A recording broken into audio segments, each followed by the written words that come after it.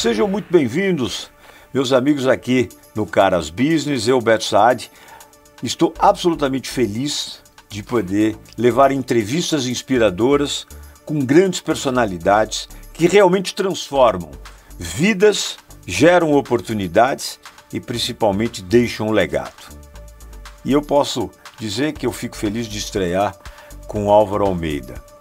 Esses cabelos brancos têm uma larga experiência de vida e uma história absolutamente consolidada e uma biografia. O Álvaro, desde sempre, ele chama todo mundo de tio. É uma estratégia, evidentemente, porque o Álvaro é, é até para não lembrar o nome de todos, porque ele é, sem dúvida alguma, um dos grandes homens do relacionamento do network. Ele chama todo mundo de tio e carinhosamente todos o chamam de tio. Tio, seja muito bem-vindo. Obrigado pelo carinho. Obrigado, Beto. Sei como sempre, né, essa simpatia que irradia e transforma a vida de muita gente. Imagina, imagina. A minha, inclusive. Sou seu fã, te acompanho há muitos fã. anos e com certeza este programa da Caras, esse Caras Business, será um sucesso muito grande. E espero poder corresponder aqui nessa nossa entrevista, bate-papo, entendeu? É tudo aquilo que você precisa. Olha, vão me faltar predicados, Álvaro, é, essa é a grande verdade. Mas eu queria que você contasse um pouco da onde tudo começou, da sua história, da sua infância, não é? Até porque as pessoas hoje elas ficam conectadas, não é? E ligadas realmente em grandes histórias inspiradoras para poder realmente ter o curso de vida modificado ou agregar valor. É, o, a história é longa, viu? É. Lógico que se nós tivéssemos tempo, hum. nós passaríamos a tarde toda aqui gravando e falando sobre isso. Mas tudo começou em 2 de agosto de 1960. Lá se vão 64 anos de atividade na propaganda, única e exclusivamente. Então é muito tempo, hum. é muita história, muitos planos econômicos, ditadura. Passei por tudo, Beto, passei por tudo. E passo a passo a gente foi superando as dificuldades para poder ter e conquistar alguma coisa e ser alguém na vida. Eu comecei como office boy, né, em agosto de 60, fiquei nove anos numa mesma agência, só que essa agência foi mudando de nome nesses nove anos. Eu, sei lá, nunca discuti as razões com os meus patrões, mas eles mudavam a cada dois anos, três anos, mudavam o nome da agência. Mas trabalhei com os mesmos. Você pode citar esses nomes? posso, posso, é posso. Né? É o Valdir Fonseca, era Fonseca Publicidade, depois o Valdemar Colombo, que passou para Jefferson, depois o Benjamin Tibúrcio da Frota Júnior. E para encerrar, ao Allende, onde eu fiquei lá até o meu finalzinho de período como funcionário, como executivo, e eu era mídia na agência, e passei a fazer parte da LC, entrei para a sociedade da LC e ali comecei a despontar como empresário. A LC que era uma agência de mídia exterior? Era uma empresa, era um veículo. Um veículo de, de... de, é, de mídia exterior, mas nesta ocasião ela era uma empresa representante de rádios do estado de São Paulo e do Brasil. Nós era um birô de mídia, era então. um, era um, era um, A gente não chamava de birô, hum. porque o representante era o nome que ah, se dava na ocasião. Perfeito. O birô, o birô ele passa uma outra impressão Entendi. de compra e venda e tal, e não era que isso. não é o caso. Não é o caso. Então era um representante... Você fazia a gestão, a governança dos clientes do, em toda, em toda a em área... Todo. De, então, todas as campanhas, digamos Naquela assim. ocasião, grandes anunciantes de rádio, nós estamos falando pô, de 69, de 70. Imagine você, a TV Globo estava começando. Exatamente. A televisão estava gatinhando.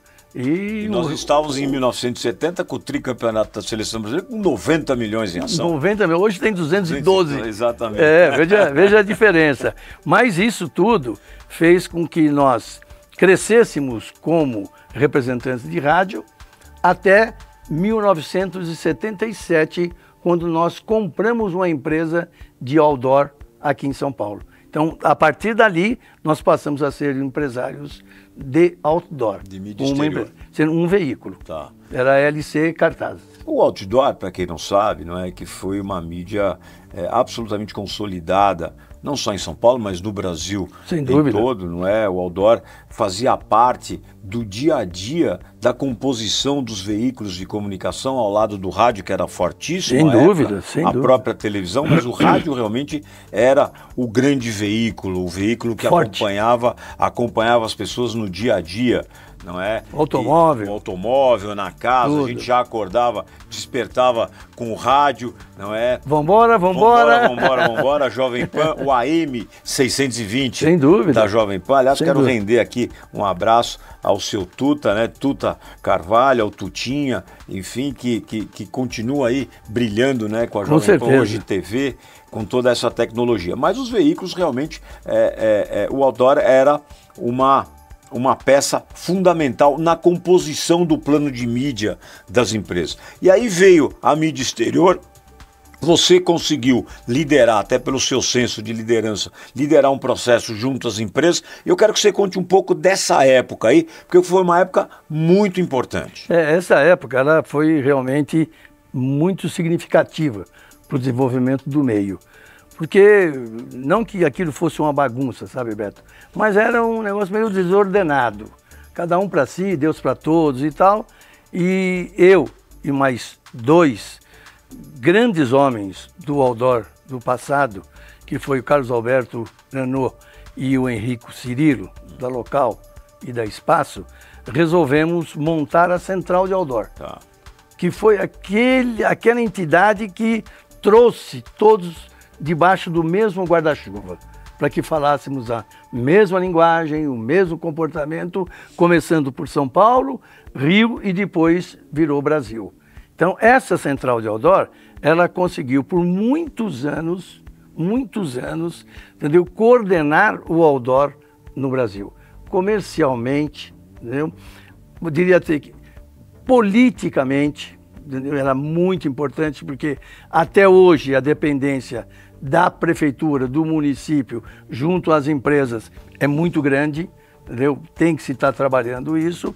E nesse nosso tempo aqui de São Paulo, de Central de Outdoor, nós conseguimos conciliar o trabalho junto aos órgãos públicos, fazendo um trabalho em conjunto.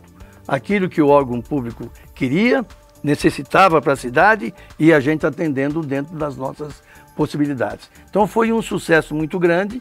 Eram 11 empresas que faziam parte da Central de Outdoor em São Paulo. No Brasil eram cento e poucas empresas e desta maneira a gente conseguiu ordenar o outdoor no Brasil. Olha, deu legalidade, mostrou realmente um senso de união, o mercado absorveu e absorveu muito bem essa central de outdoor, porque a central de outdoor criou métricas e um compliance extraordinário que acabou conduzindo as regras para o mercado. Sem dúvida alguma. Isso deu, isso deu um, digamos assim, foi é, fortaleceu realmente a mídia, não é essa mídia exterior, porque o Odor, evidente, fica, ficava nas ruas, não é? E mais do que isso, você conseguiu criar uma fortaleza. Fortaleza essa que depois de um tempo vocês conseguiram embalar esse produto e comercializar. Você fez uma espécie de um M&A, é isso? É mais ou menos isso. Você, você definiu, sem vender e comprar nada, É. mas você defendeu, de- de- eh, definiu bem isso. É um M&A. Você juntou as empresas sem ninguém se associar com ninguém, sem ninguém comprar ações de ninguém, e a coisa funcionava como um todo. Esta foi, inclusive, a razão principal do sucesso da atividade, que no ano de 2000, viu? o mercado exterior, os americanos principalmente, enxergaram na atividade um bom negócio aqui no Brasil. E aí surgiram as, os. Exato. Aí a minha empresa foi vendida, mais cinco outras empresas foram vendidas. E isto acabou dando uma certa tranquilidade para aqueles empresários que venderam as suas empresas. Lamentavelmente, os que não conseguiram vender tiveram, com o passar dos anos, o dissabor de ver a, a Lei Cidade Limpa acabando com tudo aqui em São Paulo. É, que acabou extinguindo essa mídia exterior. Acabou extinguindo. e realmente deixou de fazer parte do cenário da cidade, não é? Eu confesso a você, Álvaro, que sou absolutamente contra o radicalismo, seja ele em qualquer atividade, seja Também em sou. qualquer setor. Não funciona em lugar Eu nenhum. exatamente. Eu acho que a gente pode, sem dúvida, regulamentar, criar métricas de trabalho e a partir daí você sair com um novo modelo. Tipo é, é, esses planos de edificações, planos diretores, enfim, Sem que às vezes são, são constituídos, concebidos, depois voltam atrás para poder se adequar à realidade, mas eu acho que é importante. Nós perdemos é, é, postos de trabalho, nós perdemos geração de oportunidades, os investimentos é, internacionais realmente é, é, deixaram de existir Com e passa a ter um certo ceticismo por parte das empresas por conta, evidentemente, dessas determinações. Não vai aqui absoluto nenhum julgamento de valor ao executivo prefeito da cidade de São Paulo à época, muito pelo contrário. Eu estou apenas colocando a minha posição pessoal para dizer que a gente precisa realmente criar movimentos prósperos, principalmente numa área tão difícil que é a propaganda. A gente Sem sabe o dúvida. trabalho Sem que dúvida. dá. Aí o Álvaro me vende tudo, não é? E começa, evidentemente, a, a, a dar conselhos. Ele, ele é um grande conselheiro, porque além de tudo tem uma história rica, uma biografia, e essas experiências e desafios acabaram te transformando num businessman e num polo de concentração de referência de pessoas. E aí Obrigado. eu quero que você fale do teu tempo de revista Caras. É, eu, antes da revista Caras, Ah. né, eu tive um, um período de quase dois anos, um ano e oito meses, no Grupo Silvio Santos. Ah, no Silvio Santos, é verdade. no Grupo Silvio Santos. Eles fizeram lá uma, uma reformulação e eu já estava um, um ano, entendeu? Afastado, um ano descansando, um ano sabático, mas não vi a hora de voltar. Não, Não Vendeu vi. bem as negócio assim, vamos resumir. É, é, não- Vendeu bem as empresas, pegou Dona Cleide, Filipinho, família, foi viajar, Verdade. foi curtir a vida. Verdade, E verdade. poder, na verdade, é, pensar melhor o que iria fazer agora, realmente numa posição socioeconômica muito mais favorecida. Mas é exatamente isso, porque eu recebi um convite do Guilherme Stoliar e fiquei muito honrado com o convite. Não tinha vontade de mexer com televisão, até para não concorrer com a Globo, porque eu sabia que concorrer com a Globo é uma coisa bastante difícil. Mas no fim acabaram me convencendo. Eu fui, passei lá quase dois anos, feliz, muito feliz. Foi um período da minha vida muito bom. Me relacionei muitíssimo bem com eles. E passados dois anos, novamente eu voltei, entendeu? A ficar na vagabundagem, É. é, descansando um pouco mais, até surgiu o Edgardo e o Luiz Maluf com o convite para que eu assumisse a Caras. Eu quero te perguntar o seguinte: como é que foi, já que a gente perdeu o Silvio Santos nesse ano, né? E eu queria saber como é que foi a relação com o Silvio.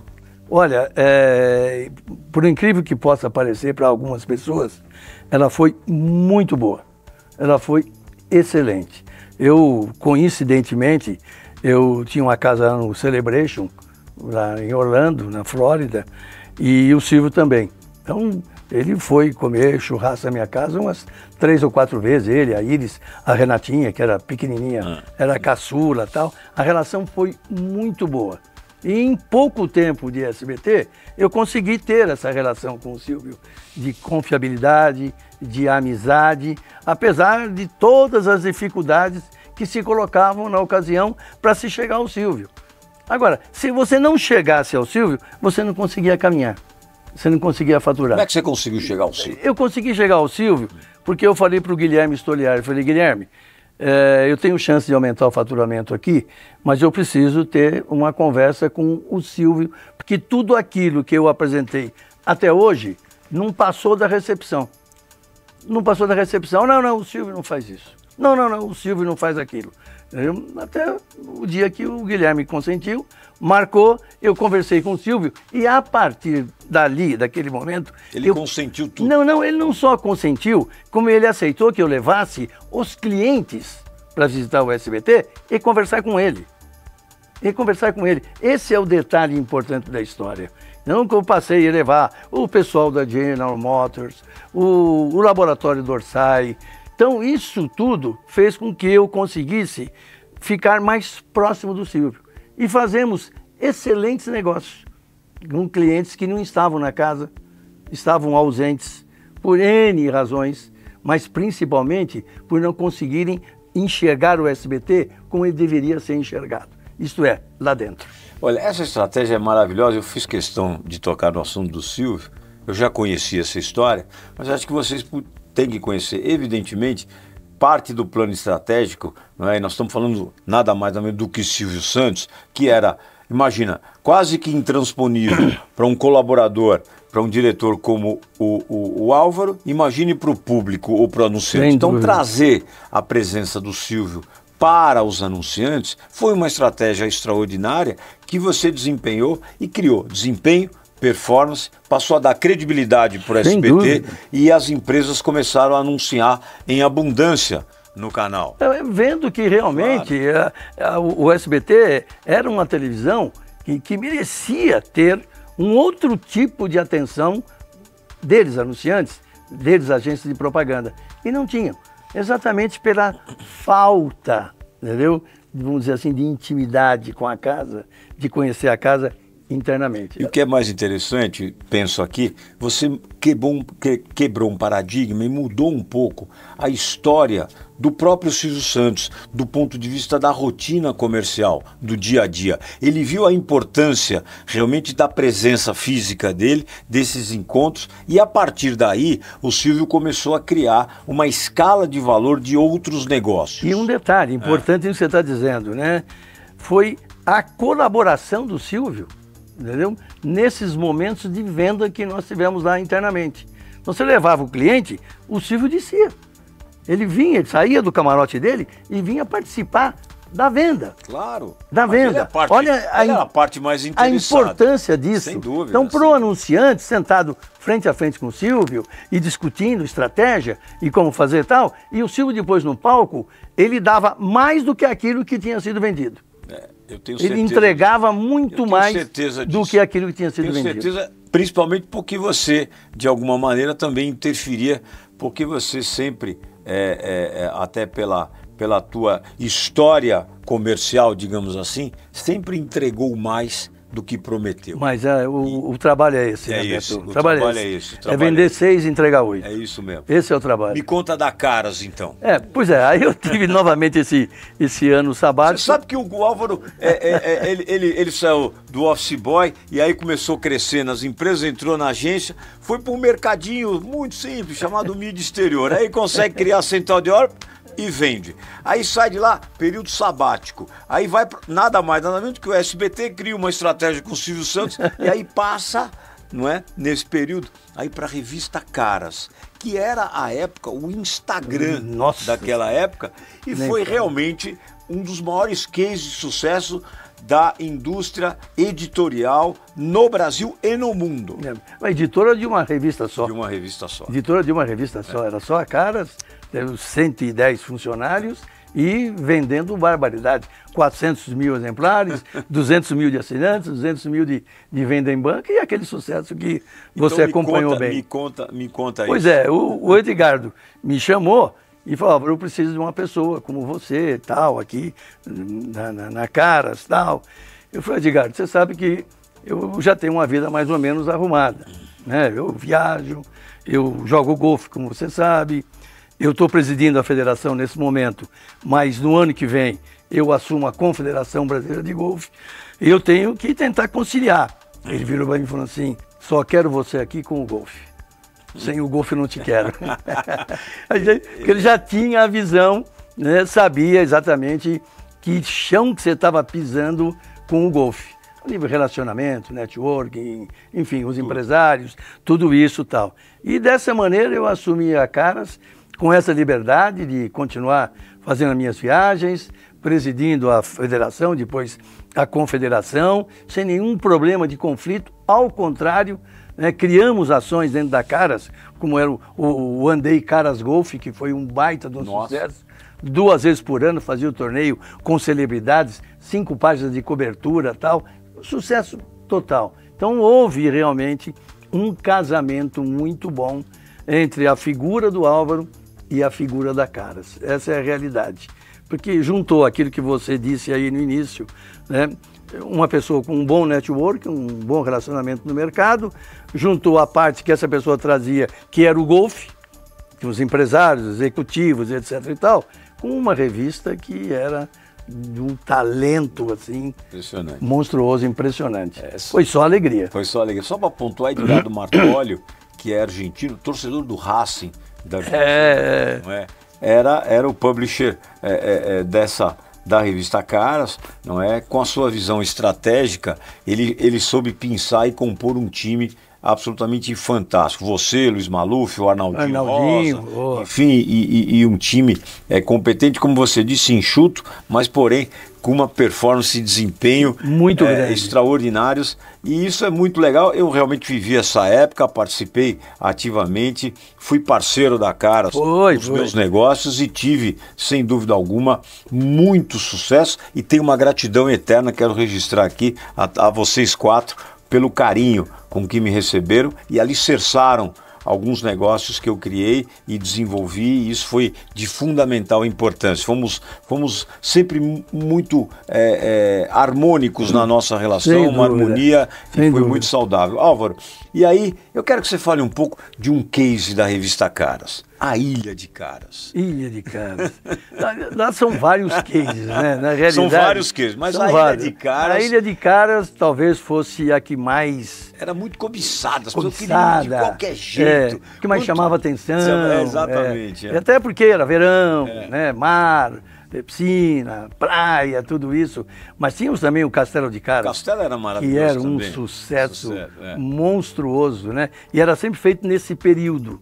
Hum. É, nesse período que a gente fazia o evento do Castelo de Caras, junto com um torneio de tênis com os veteranos, com os sêniores do tênis em Nova York, no US Open. Então, a Caras, na pessoa do Edgardo Martólio e do Luiz Maluf, enxergaram este nicho em Nova York desse torneio que se jogavam um Pro-Am, os profissionais com amadores e que até hoje é um grande sucesso. É verdade. A Caras ficou dona desse Pro-Am por três anos, dentro da visão do Edgardo e dentro da visão do Maluf. E isto, para nós que éramos área comercial, era um, caía como uma luva. Vender um torneio de tênis no US Open, podendo levar o cliente para jogar, inclusive, se jogasse, era sopa no mel, como dizia. Sopa no mel. Como dizia meu empregado, entendeu? É, era sopa no mel, era facílimo de vender. E, e assim, é, eu com muita vontade para dizer, né, vocês estão vendo pela, pela história, é, que o Álvaro Almeida, que é golfista, aliás, um dos mais bem ranqueados, ao lado do seu Filipinho, não é? Ele era handicap 2. É, ranqueado é o Felipe, não o sou eu não. Não, mas o Felipe, você, você é, e os netos também, a gente vai poder falar um pouco da família, né? Mas o Álvaro sempre deu grandes tacadas de maneira literal, tá certo? E, e isso acompanhou a sua história porque você estava sempre atento aos movimentos Verdade. e principalmente pela tua lisura, pelo teu propósito, pelo teu caráter, pela tua ética, você era procurado pelas pessoas, entendeu? Não só pelo network, mas principalmente por aquilo que você é, Segurança. do ponto de vista existencial. Sem então, é, é, é muito legal a gente registrar isso e importante também levar isso à cena. E aí a Caras, é, é, ela realmente foi o grande baluarte, não é que chacoalhou cada vez chacoalhou o mercado de maneira plena, não é? Sair na caras significava muito para as pessoas. Algumas pessoas queriam até pagar para sair na revista Caras, né? para vocês terem uma ideia do que era, aqueles que não conheceram, do que era a revista Caras. Hoje a Caras é, é, continua a sua trajetória, evidentemente que entrou na era tecnológica e hoje tem digital. no digital uma força tão grande quanto ou maior do que aquela sem dúvida daquela, da, daquela época, não é? Sem Ô, Álvaro, e aí falando um pouco é, é, é, de Caras aí Ilha de Caras que é, tinha perguntado da Ilha de né? Caras eu quero saber um pouco da Ilha de Caras é. realmente porque por que eu perguntei da Ilha de Caras sendo o Castelo e outras investidas porque a Ilha de Caras ela tinha além de tudo uma, um, uma linha de encontro. Você estava ali em Angra dos Reis, você estava é, rodeado de champanhe, de outras bebidas, de empresários. Havia uma linha mais vulnerável de, de, de, de, condução. Queria que fala, falasse disso, porque foi um sucesso e você disse, era só abrir o talão de pedido e vender é, que a coisa andava. Naquele tempo tinha o talão, né? Que você tinha tirava, papel carbono. Mas a Ilha de Caras foi o grande ícone, sem dúvida alguma, da, da Caras. E ela tinha tudo isso que você falou. Né? Tinha tudo o que pudesse acontecer de novidade acontecia na Ilha de Caras. É verdade. Por quê? Os clientes deixavam para lançar o seu produto um carro era lançado, o Gandini da Kia, Gandini. que era o seu grande anunciante, então, lançava seus, seus carros lá na Ilha de Caras. Na Ilha de Caras. Então, então era um período esperado eh, pelos anunciantes, esperado pelos nossos leitores que sabiam que de Ilha de Caras viria muita coisa boa, principalmente no que se referia ao nível de celebridades. Então a Ilha de Caras era realizada no finalzinho de dezembro, avançava janeiro e ia até o carnaval, entendeu? mas durante seis meses ela continuava existindo dentro da revista. Durante seis meses o Edgardo programava entendeu? que os eventos que aconteceram na Ilha de Caras saíssem, fossem publicados nesse período. Então ficava a Ilha de Caras viva na memória dos leitores, na memória dos anunciantes, durante seis meses. E isto era realmente, vamos dizer assim na gíria, o grande puro do gato que se tinha com a Ilha de Caras. Era você poder manter entendeu, durante tanto tempo em evidência. E o leitor gostando daquilo que estava vendo, porque ele só via gente bonita, gente interessante. Não é só o problema do anunciante. Virava um objeto de desejo. Um objeto de desejo e tal. E outra, né? Quem é que não queria ir para a Ilha de Caras? Eu, até hoje, tanto tempo já se passou, eu tenho amigos que me perguntam, Álvaro, como é que era aquela Ilha de Caras? Você ia na Ilha de Caras? Eu ia todo sábado. Mas não ia, tô brincando. Eu ia a cada 15 dias. Mas eu, até hoje Se eles tivesse perguntam. um campinho de golfe, esse ia todo dia. Não, aliás, em Angra tem, tem entendeu? É, eu é. não tinha os companheiros para jogar. Aí iria todo dia. Mas, de qualquer maneira, é, a Ilha de Caras, Ilha, Castelo, os eventos todos que Caras tinha, Chile, né, Neve, Caras Neve e tal, todos criados pelo Maluf, todos criados pelo Edgardo, era, para nós do departamento comercial, uma ferramenta de venda muito forte, muito grande. Então, nós chegamos a vender cinco cotas de cada evento desse. Cinco cotas. O que era, vamos dizer assim, nos dias de hoje, se olhando, um absurdo. É inimaginável. Inimaginável, realmente. mas conseguia se vender. Por quê? Porque você vendia seis, entregava oito. Isso aí. Esta é a realidade. Você vendia, você vai ter tantos merchandising, você vai ser assim, você vai ter assado e tal. Quando o cara descobria, entendeu? Ele já tinha tido 50% a mais do que aquilo que havia comprado e aquilo que havia combinado. Razão do sucesso. E, e mais interessante que naquela época, não é, quando se fazia os planos de mídia, não é, e vocês das agências aí sabem muito bem, é, você comprava televisão, rádio, mas a Caras estava Nossa. absolutamente envolvida dentro do plano de mídia das empresas. Eu, eu brincava muito com ah. o meu pessoal do comercial que a Caras ela não era vendida, ela era comprada. Exatamente. Ela era comprada.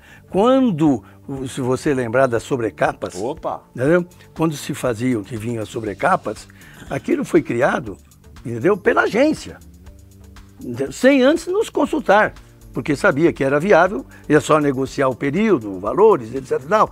Mas então nascia a programação da Caras dentro da agência. Ou seja, as próprias agências de publicidade dos clientes desenvolviam as propriedades. Exatamente. É exatamente, é impressionante. Então, vinha muito, entendeu? De dentro das agências para fora. Então ela era comprada, porque quando você chamava para negociar a sobrecapa, é porque já estava aprovada já estava aprovado, o cliente já tinha aprovado, queria a sobrecapa, uma negociação de preço, um ajuste aqui, ali e tal, e a coisa estava feita. Vai uma dica para você então. Você viu que o Álvaro disse, né?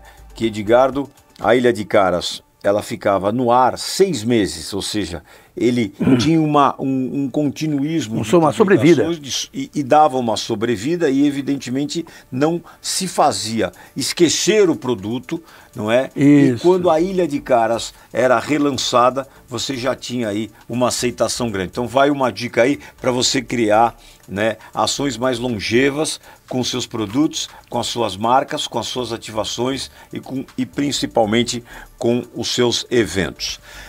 Vamos falar de família, Dona Cleide, o Filipinho, a família toda. Isso é o que eu mais gosto. É, e, e isso é, é, muito legal porque você conseguiu é, desenvolver dentro da sua família é, uma coisa extraordinária. Todos se transformaram em golfistas. E aí, aquela visão do Edgardo, eu quero que você venha com o golfe para cá, ela se manteve Sem golfe na eu não quero. E você, como um apaixonado pelo golfe, você conseguiu, evidentemente, ter a proximidade da família por conta do esporte e aí desenvolver. Esses meninos estão desenvolvendo aí uma carreiras brilhantes. Fala um pouco da família, Alvinho. É, o, eu gosto muito de citar da família e você conhece bem, o Edgardo conhece bem, o Maluf melhor ainda, entendeu? Família é tudo, gente. Família é tudo. Eu estou casado há 52 anos. Já fiz minha boda de ouro eh, lá atrás. Hum. Tenho três filhos, tenho cinco netos. E eu sabia que para você ter todo este povo junto, você tinha que ter alguma coisa que combinasse com todos e que todos gostassem. E dessa maneira eu fui conduzindo para o golfe. Era o meu esporte, levei o Felipe, a Juliana jogou até quando nasceram os gêmeos, que aí ela parou de jogar. A minha mulher jogou, também parou quando nasceram os netos, para ajudar a filha, que tinha tido gêmeos e tal. A Camila joga até os dias de hoje. E meus dois genros também jogam. Então isso tudo ajudou bastante. E fez com que os dois filhos do Felipe pegassem gosto pelo golfe. Aliás, eles são absolutamente fantásticos. Fantástico. Né? Então, Estão muito bem ranqueados. Né? Ranqueados, né? jogam torneios internacionais. O, o, o, menorzinho de 10 anos foi agora na semana passada para Padova. Hum. Foi jogar um torneio na Itália. O European Tour Kids Golf. Foi ele jogar como convidado daqui do Brasil. 10 anos de idade. 10 anos de idade. O de 12 anos vive jogando torneio fora, jogou vários mundiais, etc. Tal. Por quê? Porque pegar o gosto. E tem um incentivo muito grande do pai e do avô. Essa é a realidade. Então, o pai deixou até de jogar. Ele passou a fazer um jogo, entendeu? A cada dois meses, mas preservando para os filhos, guardando o seu tempo E o Felipe é um dos mais talentosos golfistas que a gente teve no Brasil. Foi, foi. Foi um grande jogador. Entendeu? Chegou a ser ranqueado, eh, jogou o Mundial representando o Brasil, jogou nos Estados Unidos, jogou na Europa, eh, até a Biarritz nós fomos uma vez para representar o Brasil, eu fui junto e tal. Ele teve, ele teve, a sua parte muito, muito boa no golfe. Mas o golfe deu, deu uma unidade familiar, já que você estava falando da família, muito grande. Muito grande. Essa semana que passou, eu viajei com o Luca, que é o meu neto de 12 anos, para Curitiba, que ele foi jogar um torneio lá, sexta, sábado, domingo, e o Felipe não poderia ir. Fui eu junto com claro. o companheiro dele. Então, quer coisa melhor? Você ainda orienta, Álvaro, como é que é essa rotina aí? Não, eu... o, teu olhar, o teu olhar técnico. É, é eu, até um passado recente, Roberto, é, dava para orientar. Hoje não dá mais. Não. É, hoje a autonomia deles, eles sabem qual é o taco que vai utilizar, qual é a direção que tem que mandar, entendeu? Hoje não, não dá mais. Hoje é só aplaudir ou chorar. É. Não, não tem outra alternativa. Não tem como. É, e é muito legal a gente poder ouvir isso de você, porque isso que sirva de exemplo. O legado é isso, né? Ou seja, ele criou estratégia na sua vida pessoal, na sua vida profissional, na vida pessoal.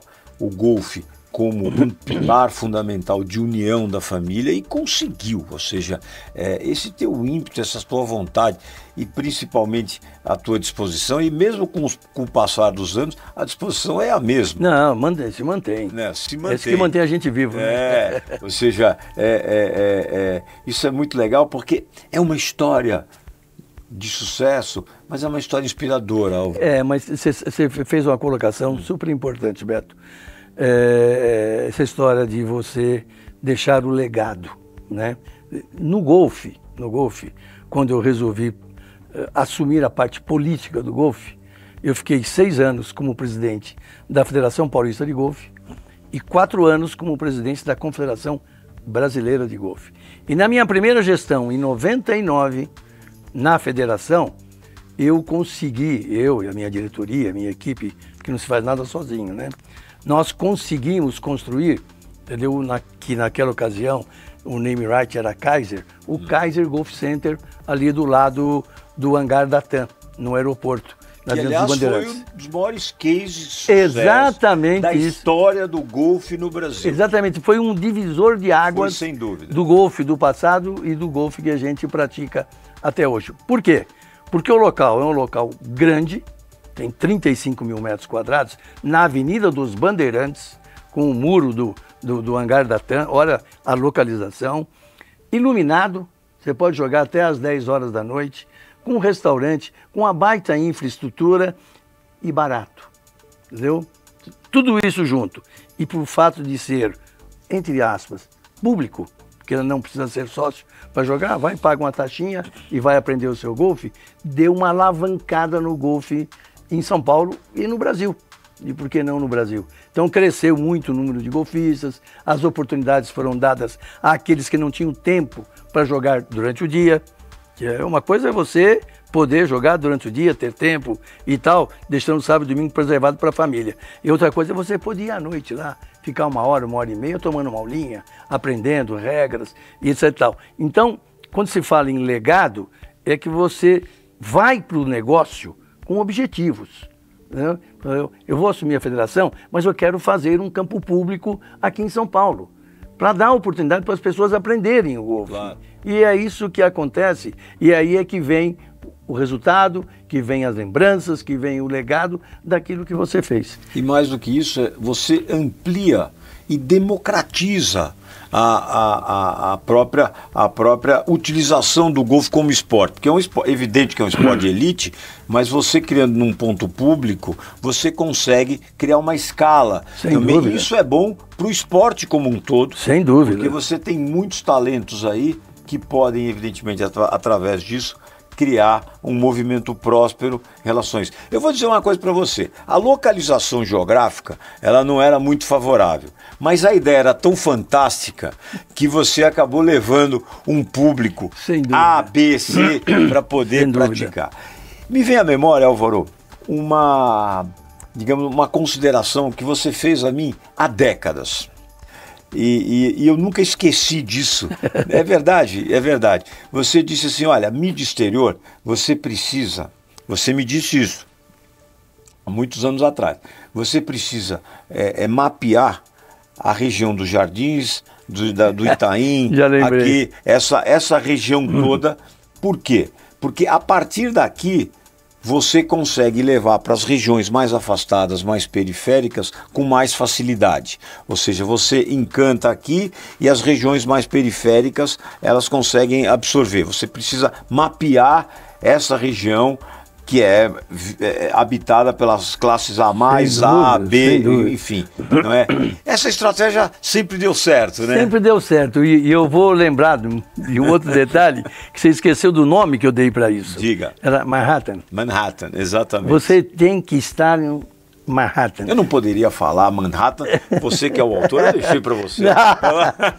Mas, assim, Mas você estava daquele no meinho é. onde estava o dinheiro onde estavam os anunciantes, as agências de propaganda, aquelas pessoas circulando e os ali. decisores circulavam lá e viam só as marcas. E os decisores passando por ali e vendo. Dali para você expandir, ir aumentando essa sua área, era muito mais fácil do que você começar de fora para dentro. Custava mais caro? Custava mais caro. Evidentemente que custava. Mas o resultado aparecia também com muito mais rapidez e consolidava a sua empresa. Então, as pessoas me perguntavam na ocasião, pô, Álvaro, mas vocês não vão para São Caetano do Sul? O ABC, um baita polo tal? Não. Não. Entendeu? Eu não tenho nenhum cliente meu que mora no ABC. Eu não conheço um mídia que more no ABC. Sem desmerecer o ABC. Não, sem desmerecer absolutamente. É uma estratégia. Estratégia, claro. porque eu sabia que a pessoa não iria comprar por desconhecimento. É, são cidades maravilhosas, cidades importantes, uma renda per capita altíssima tal. Público consumidor Público consumidor tal, mas o mídia não conhecia, entendeu? O diretor de marketing do cliente também não conhecia. Entendeu? Uma ocasião, um detalhe importante, já que você colocou nisso, teve um evento do Meio Mensagem, entendeu? aqui na. Acho que era até o Sheraton, aqui no DD. É, no DD. No DD.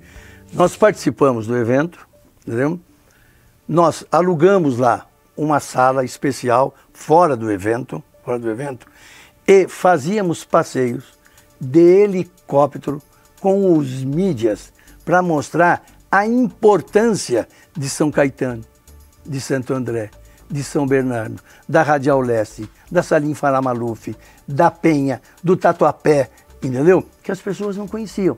Então esse helicóptero saía com cinco pessoas, ou eu ou o Luiz Casale, junto e indo mostrando, olha, tá vendo isso aqui? Isso aqui é São Caetano, isso aqui é Avenida Goiás.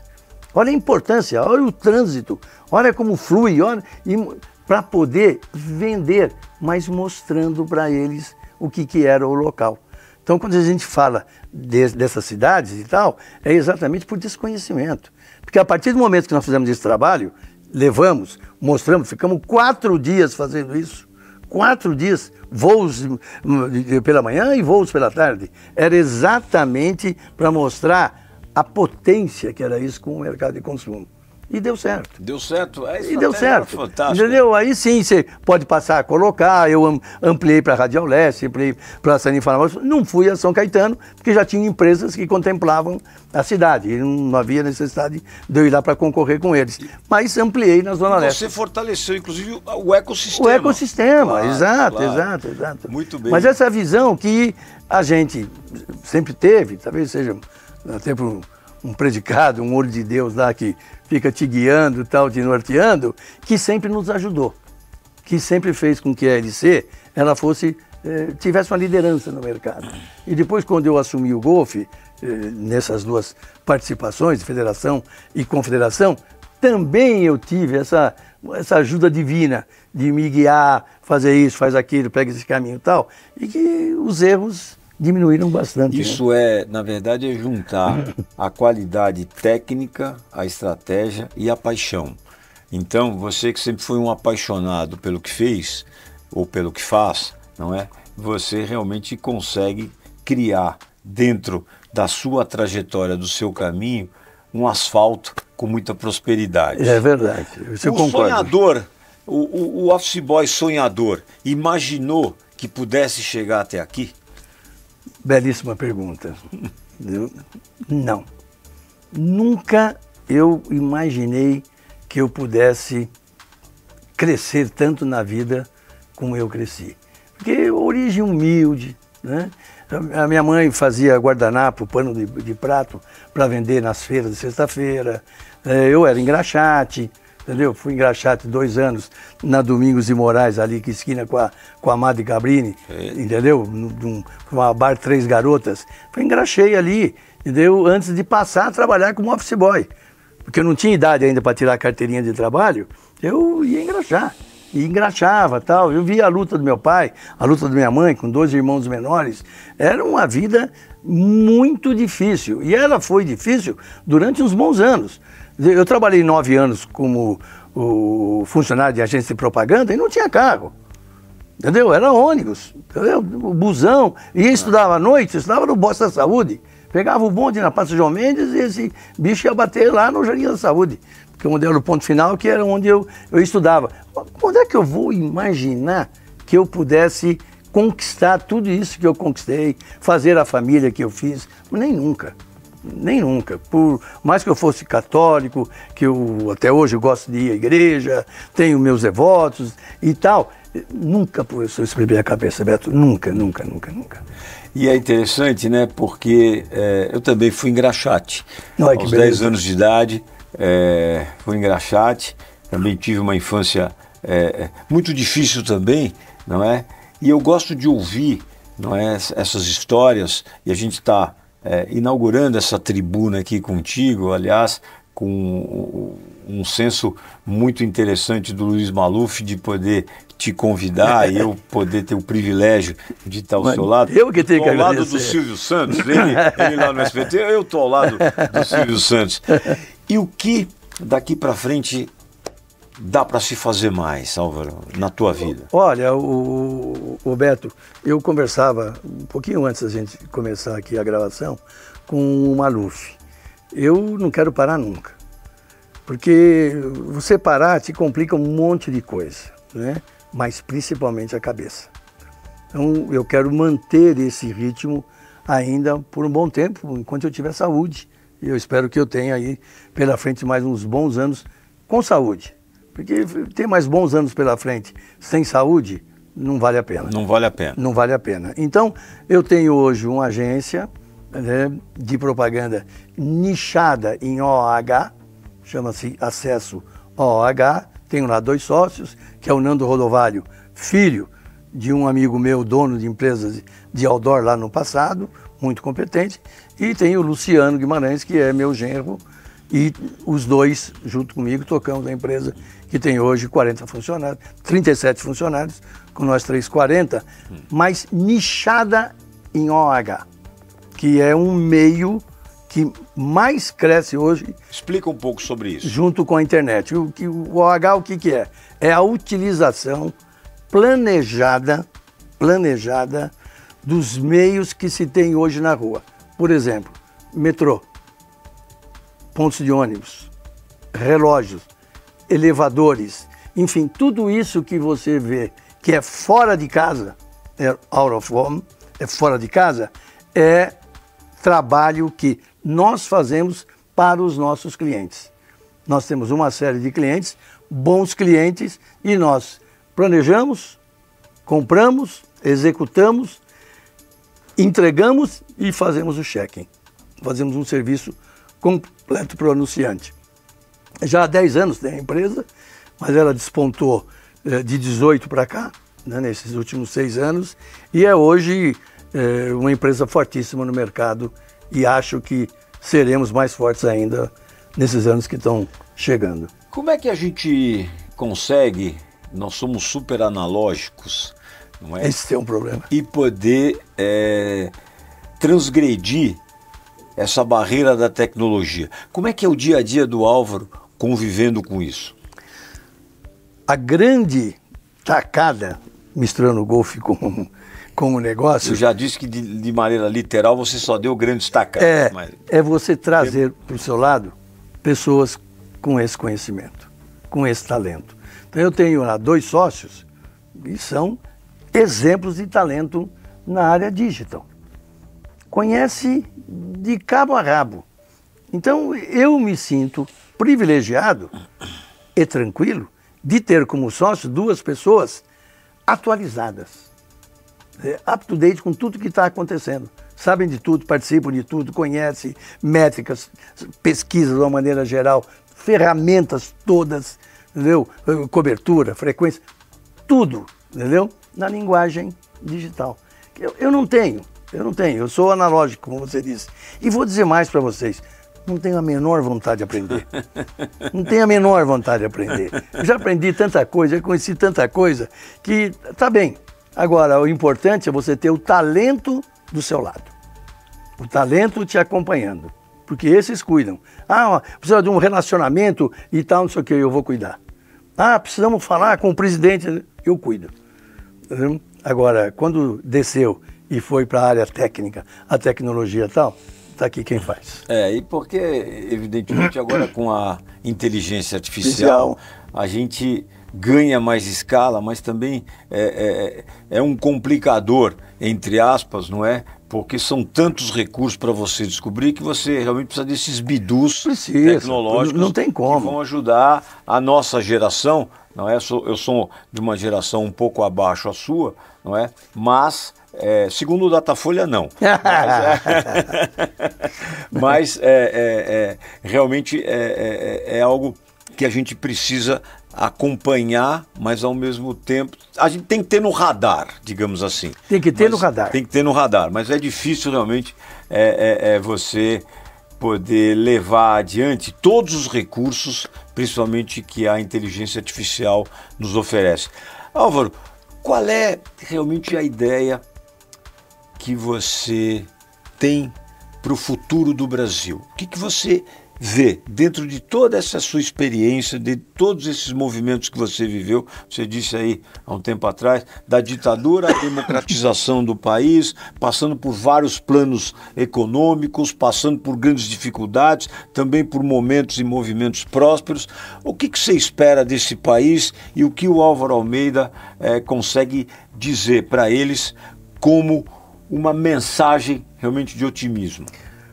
Muito boa pergunta, Beto. Até porque é difícil você ouvir esse tipo de pergunta. Entendeu? Por quê? Ela mistura um pouco de política, né? mistura um pouco de trabalho né? e de olhar, de você ter uma visão, entendeu? Antevendo o que eventualmente pode acontecer, bom ou ruim, lá na frente.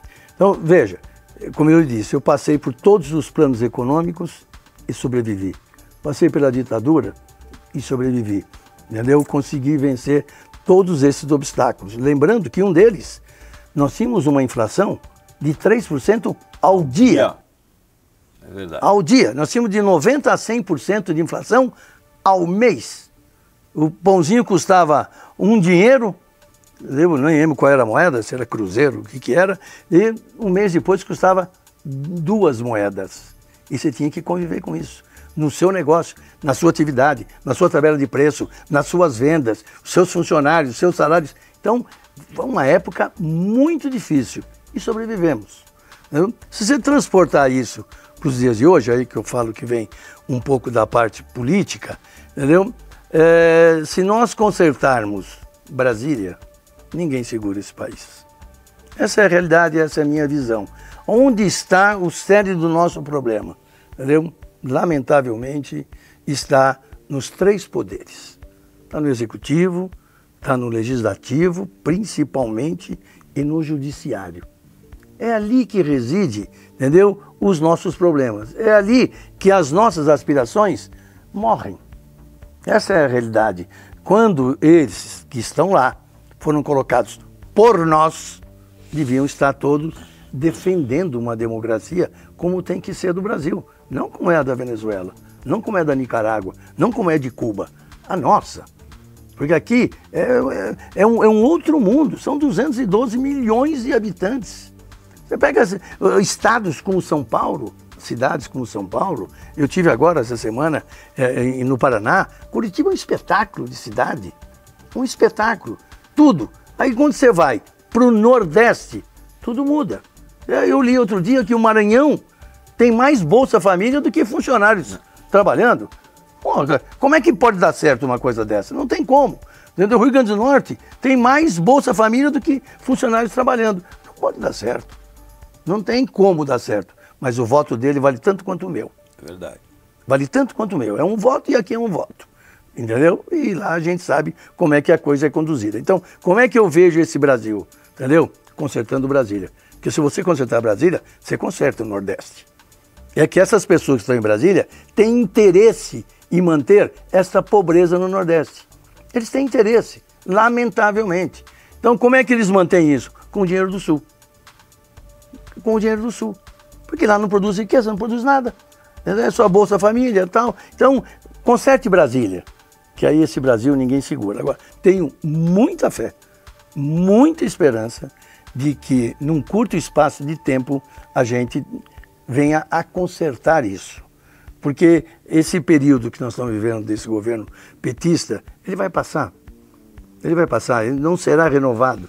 Dificilmente será renovado por tudo isso que nós estamos vendo, entendeu? Seja no judiciário, seja no executivo, com, com quem está lá comandando tal. Não é possível que isso continue. É simplesmente assim. Então acredito muito que todos nós tenhamos que ter essa esperança entendeu?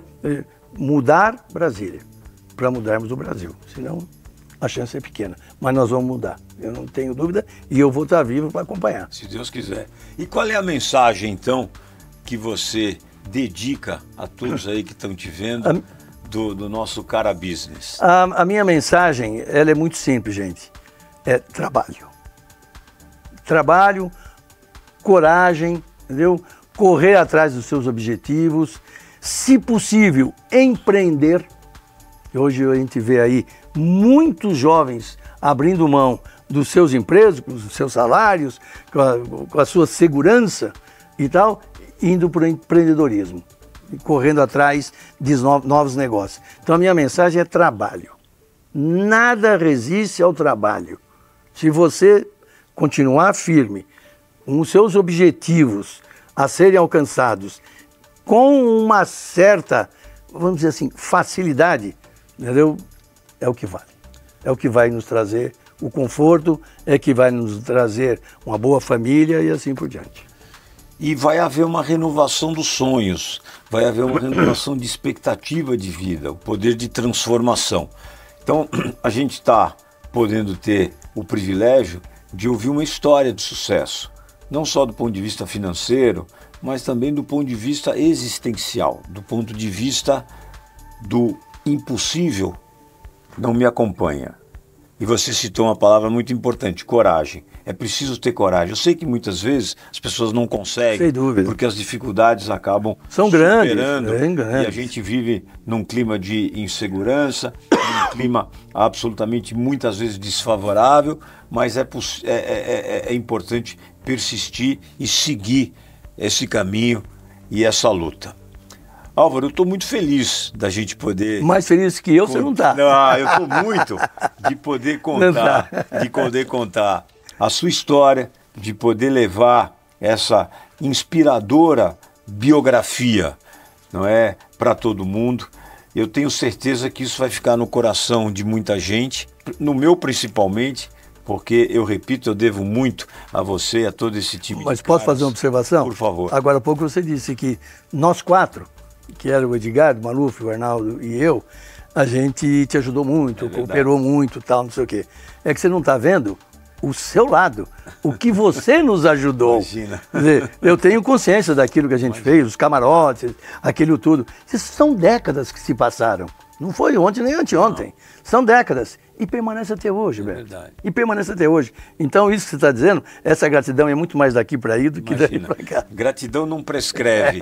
então, é, é, a gente agradece e eu sou muito, muito, muito grato realmente, não só por tudo que a gente viveu junto, por tudo que eu aprendi com você, Imagina. no meu programa Encontro de Cracks, que eu fazia lá na, na, na Caraigá, o Filipinho, seu filho, Filipinho Almeida fazia o craques do golfe. E a gente Cracks tinha lá é. um quadro, tinha um quadro, um quadro extraordinário. Eu participei poder, também, foi muito bom. várias muito, vezes, muito. E, e, e, não só no golfe, mas Foi também fora. É. E, e, a gente pôde celebrar e criar movimentos muito prósperos e tal. Eu não tenho palavras para te agradecer. Imagina. Porque você falou que Deus olhou para você e, e, e, realmente, desde que eu te conheço, os seus cabelos brancos, eles, eles são absolutamente fonte de vitalidade. Você é que nem Sansão. Os cabelos brancos são a sua fonte de vitalidade e está sendo nesse momento, para mim, com esse privilégio de poder fazer o primeiro Caras Business com você, meu querido Álvaro Almeida, o velho e bom tio. Grande, velho e bom tio. Obrigado você, Obrigado. viu? Foi Obrigado. show de bola. Show de bola. Adorei. Obrigado a todos. Obrigado. Obrigado.